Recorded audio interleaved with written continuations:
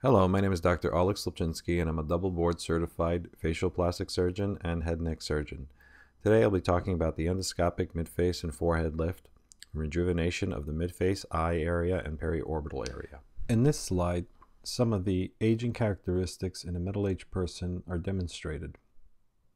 Aging characteristics are primarily due to genetic factors and environmental factors such as sun exposure and smoking. In this patient, aging characteristics of the upper face include forehead lines or the horizontal lines, the frown lines or the number 11 lines between the brows, and brow ptosis, as well as lower facial drooping or jowling. This patient also had excess upper lid skin, excess lower lid skin, as well as skin discoloration from sun exposure. The patient underwent an endoscopic midface and forehead lift, upper and lower lid blepharoplasty, and a lower facial mini facelift. The picture on the right shows her postoperatively. Indications for this procedure include midface cheek drooping, also known as malar fat pad ptosis, brow depression, and frowning. This slide shows the areas that are treated with the endoscopic midface and forehead lift area. The orange depicts the lateral and medial brow. The yellow depicts the infraorbital or SOOF area. And the red depicts the midface or the malar fat pad area. Slide next to it shows yellow arrows which show the direction of pulling in the endoscopic midface and forehead lift procedure. Also should be noted that the glabellar or frown lines or number 11s can also be reduced with the endoscopic forehead lift procedure. In the slides that follow, you will see actual before and after pictures of patients that have undergone the endoscopic mid-face lift procedure. Please place close attention to the periorbital or eye area. In this case, in the before and after, we can see that the lateral brow and eye area has been pulled laterally and superiorly, as well as the mid-cheek area has been lifted up, or the malar fat pad area. The yellow arrows show the direction of pull of the lateral brow, midface, and periorbital area.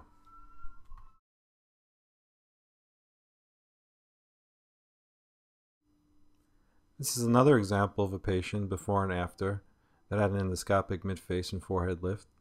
In this patient, we can clearly see that the lateral brow and midface has been lifted up into a rejuvenatory position, as well as the glabellar lines, or number 11s, have been eliminated. Again, the yellow arrows depict the direction of pull of the lateral brow and midface, and the red circle indicates the rejuvenation or elimination of the glabellar frown lines.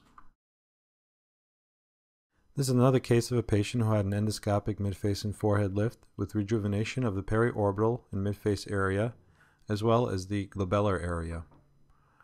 The next slide will show the, area, the direction of pull of the midface and periorbital area, as well as treatment of the glabellar lines. In this case, the patient also had an endoscopic mid-face lift procedure, treating the periorbital or eye area as well as the midface and glabellar area or the number 11 or frown lines. Endoscopic midface and forehead lifting is a rejuvenatory procedure that is not commonly talked about but you can see that it is very important in the rejuvenation of the upper face and the entire face as a whole. In many cases, rejuvenation of this area will be the difference between a patient looking pulled or not pulled. In many cases, the endoscopic midface and forehead lift is more appropriate procedure than a standard facelift procedure. It can also be more important than an upper and lower lid blepharoplasty depending on the characteristics of the aging of the patient. In certain cases, only a midface and periorbital lift is required, such as in this case, where the brows have already been set high by the patient by tattooing the brows in a high position. In this case, the forehead and lateral brow would not be lifted. In some cases, aging of the forehead and midface area, precedes the aging of the lower face. In these cases, the endoscopic mid-face and forehead lift would be more appropriate than a lower facelift procedure. In this case, the patient had an endoscopic mid-face and forehead lift procedure, as well as an upper lid blepharoplasty and a lower lid blepharoplasty.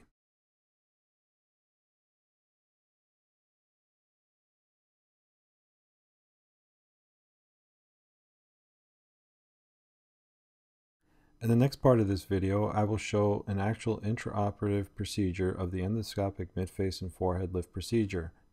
For those of you that are squeamish, you may want to skip this part. In this intraoperative video, we can see that a suture has been placed in the malar fat pad and brought out through a temporal incision, and by pulling it superior and laterally, the malar fat pad is lifted. This suture will be secured in place and the overlying skin redraped to fit the midface pull.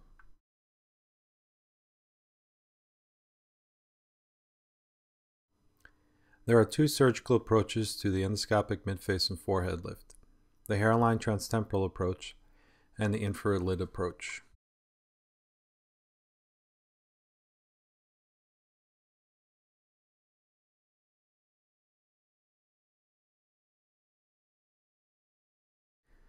The hairline approach is in the temporal area and the infralid approach is just below the eye.